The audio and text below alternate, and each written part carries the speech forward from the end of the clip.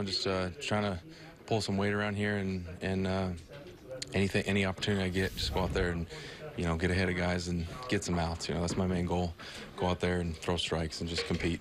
Tito talks about they like your presence. What do you feel like you can bring to this team as you go? I'm just I'm going out there. I'm not afraid to get beat. So I'm gonna go out there and I'm gonna you know fill the zone and just use the defense behind me. I mean can't can't speak highly about those guys. You know they're they're incredible. So just go out there and put the ball where I want, or you know let them do the work. And if I get ahead and get, get strikeouts, even even better. I feel like it's been a really long road to get to this point, just with the injuries and stuff the last couple of Yeah, the two injuries definitely uh, set me back a little bit, but you know, just added more fuel to the fire. So it's uh, it's a sweet taste to get back up here and and uh, help help a team out.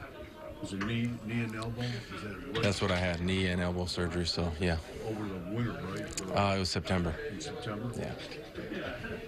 Guys, how long did? When did you feel like you were ready? Had recovered from that? Um, usually, I got out to Columbus in early May, and it took me about a month to start feeling good again. But once I got on a roll, just kind of, you know, kept my same approach that I do now and get out there and throw strikes. Knowing the importance of every game, just Mm-hmm. how do you guys stay even keel and not try to look too far ahead? Honestly, you know, it's just it's you want results and you want to get out there and you, you want to do your job every time, but just going out there and competing and give these guys a chance. That's what I'm here for, and you know, just any opportunity I get, I'm gonna do it.